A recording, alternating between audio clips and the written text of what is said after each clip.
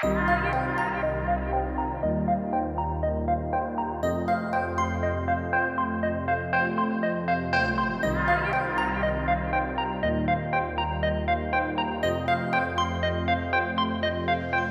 High Vielflieger Talk. Und zwar ein Wochenrückblick mit Freddy und mir heute am 23. Juli 2023. Wir besprechen die Woche jetzt im Überblick, weil sie geht ja zu Ende und schauen wir mal, was da so alles passiert ist. Und Freddys Blick ist natürlich meistens ein anderer als meiner.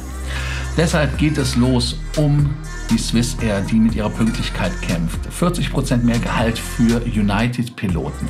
British Airways wertet die Economy Class auf.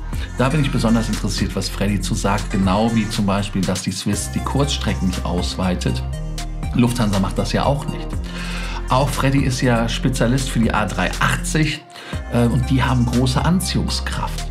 Eine Boeing 767 verliert die Rutsche. Wie kann das passieren? Freddy kann vielleicht aus seinem Alltag als Flugbegleiter erzählen, ob sowas bei Lufthansa möglich ist.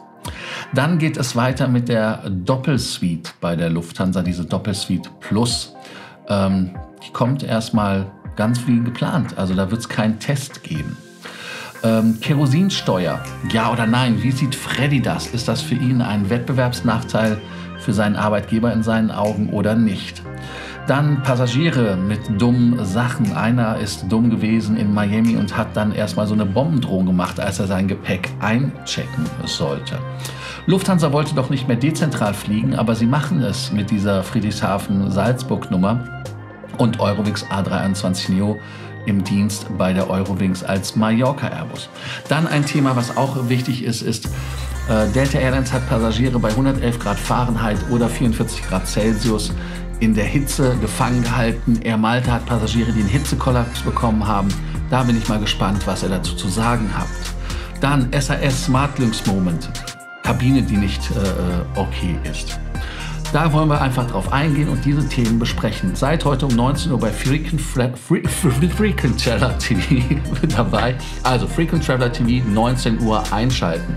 Und ähm, ich muss den Namen nochmal lernen, wohl das ist ja jetzt die 214. Show alleine dieses Jahr. Also, danke euch, bis dann und freue mich nachher. Ciao.